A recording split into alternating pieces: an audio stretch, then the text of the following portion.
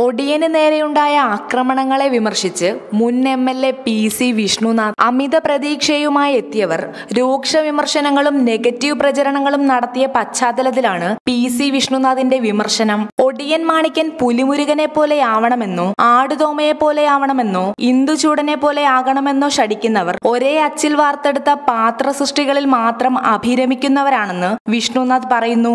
Facebook പോസ്റ്റിലൂടെയാണ് Vishnunath തന്റെ അഭിപ്രായം വ്യക്തമാക്കിയത്. മോഹൻലാലിന്റെ ഒടിയൻ മാണിക്കൻ തന്റെ മനസ്സിൽ ചേക്കേറിയെന്നും വിഷ്ണുനാഥ് കുറിക്കുന്നു. ഒടിയനെതിരെ നെഗറ്റീവ് പ്രചരണങ്ങൾ നടത്തിയവർക്കെതിരെ പി സി വിഷ്ണുനാഥ് ഫേസ്ബുക്കിൽ കുറിക്കുന്നത് ഇങ്ങനെ. ഇത്രയേറെ നെഗറ്റീവ് പ്രചാര വേലകളെ അതിജീവിച്ച് ഒരു സിനിമ മുന്നോട്ടു പോകുമോ എന്ന സംശയമുണ്ടായിരുന്നു.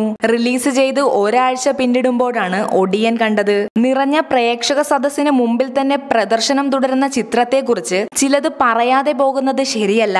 മോഹൻലാൽ അഭിനയിച്ചു ഫലിപ്പിച്ച കഥാപാത്രങ്ങളിൽ വ്യത്യസ്തമായ പകർന്നാട്ടം തന്നെയാണ് ഒടിയനിലേത്. രണ്ട് വ്യത്യസ്ത കാലത്തെ മാണിക്കനെ എത്ര മനോഹരമായാണ് ലാൽ അവസ്മരണീയമാക്കിയത്. എന്നിട്ടും എന്തുകൊണ്ടാകും ഇത്രയേറെ നെഗറ്റീവ് പ്രചരണം ഈ ചിത്രത്തിനെതിരെ ഉണ്ടായതെന്ന് ആശ്ചര്യത്തോടെ മാത്രമേ ചിന്തിക്കാൻ കഴിയുന്നുള്ളൂ. മുൻവിധിയോടെ സിനിമയെ സമീപിച്ച കുറച്ചേറെ പ്രേക്ഷകരും ആ പ്രചാരണത്തിൽ വീണുപോയെന്നതും ശരിയാണ്. മാത്രമല്ല സംവിധായകനോടുള്ള വ്യക്തിപരമായ അനിഷ്ടവും ചിത്രത്തെ ആക്രമിക്കുന്നതിന് കാരണമായിട്ടുണ്ട്. തുടക്കക്കാരന്റെ കുറ്റവും കുറവും ചൂണ്ടിക്കാണിക്കാമെങ്കിലും ശ്രീകുമാർ മേനോൻ തന്റെ കന്നി ചിത്രത്തെ വേറിട്ട കാഴ്ചയിലൂടെയാണ് ആസ്വാദകർക്ക് സമ്മാനിച്ചത്. ദളിതനോ പാർശ്വവൽക്കരിക്കപ്പെട്ടവനോ ആയ നായകനാണ് ചിത്രത്തിലെ മാണിക്യൻ എന്നത്. വർണപരമായി ചിത്രത്തെ വിമർശിച്ചവർക്കുള്ള മറുപടി കൂടിയാണെന്നും അദ്ദേഹം കൂട്ടിച്ചേർത്തു. ഏതായാലും ബോക്സ് ഓഫീസ് റെക്കോർഡുകൾ തകർത്ത് തിയേറ്ററുകളിൽ പ്രദർശനം തുടരുന്ന ഒടിയന്റെ വിജയം വിമർശകർക്കിപ്പോൾ ചിത്രത്തെ തകർക്കാനുള്ള അവരുടെ ശ്രമങ്ങൾ വിഫലമായി പോയി എന്ന് തോന്നിയേക്കാം.